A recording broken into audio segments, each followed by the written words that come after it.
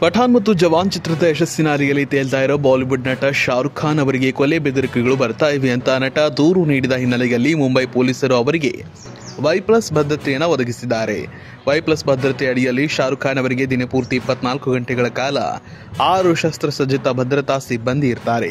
ಅದಕ್ಕೂ ಮುನ್ನ ಶಾರುಖ್ ಖಾನ್ ಇಬ್ಬರು ಭದ್ರತಾ ಸಿಬ್ಬಂದಿಯ ರಕ್ಷಣೆಯಲ್ಲಿದ್ದರು ಶಾರುಖ್ ಖಾನ್ ಇತ್ತೀಚೆಗೆ ಮಹಾರಾಷ್ಟ್ರ ಸರ್ಕಾರಕ್ಕೆ ಪತ್ರ ಬರೆದು ತಮ್ಮ ಚಿತ್ರ ಯಶಸ್ವಿಯಾದ ನಂತರ ತನಗೆ ಕೊಲೆ ಬೆದರಿಕೆಗಳು ಬರ್ತಿವೆ ಅಂತ ತಿಳಿಸಿದರು. ಈ ಹಿನ್ನೆಲೆಯಲ್ಲಿ ಮಹಾರಾಷ್ಟ್ರ ಸರ್ಕಾರ ಶಾರುಖ್ ಖಾನ್ ಅವರಿಗೆ ಭದ್ರತೆ ಹೆಚ್ಚು ಮಾಡಿದೆ.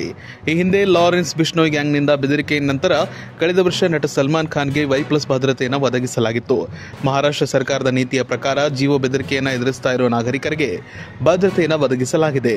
ಸರ್ಕಾರ ಒದಗಿಸುವ ರಕ್ಷಣೆ, ಭದ್ರತಾ ಪಡೆದವರು ಶುಲ್ಕವನ್ನು ಪಾವತಿಸಬೇಕು ಮತ್ತು ಭದ್ರತಾ ಮೊತ್ತವನ್ನು ಠೇವಣಿ ಮಾಡಬೇಕಾಗುತ್ತೆ.